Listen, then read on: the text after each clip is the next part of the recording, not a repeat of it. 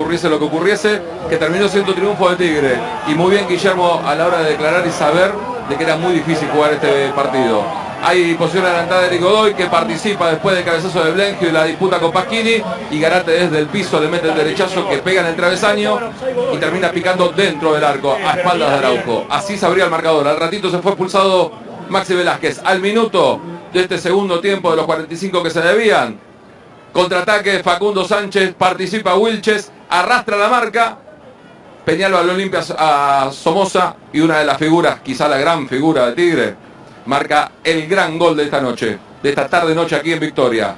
Y cuando ya Lanús estaba muy jugado, muy desordenado, enganchó cuatro pases seguidos Tigre, Wilche lo busca Itabel por la derecha, que cuando ingresó entró muy bien, la pelota pega en el travesaño y nuevamente el número 10, participando ahora para empujarla y para marcar el tercer gol y poner cifras definitivas para este Tigre 3.